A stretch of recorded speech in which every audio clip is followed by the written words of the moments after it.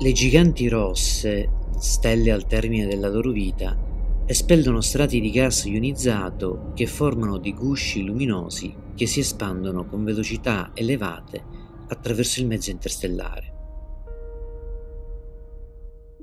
Questi oggetti sono noti con il nome di nebulose planetarie.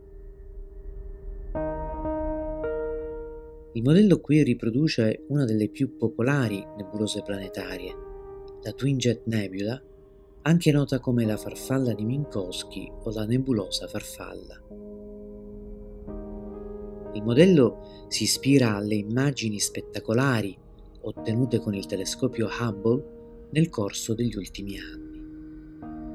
Posta ad una distanza di circa 2100 anni luce dalla Terra, nella costellazione di Ofiuco, è stata scoperta da Rudolf Minkowski nel 1947. Come altre nebulose planetarie, la Twin Jet Nebula ha una morfologia che ricorda le ali di una farfalla.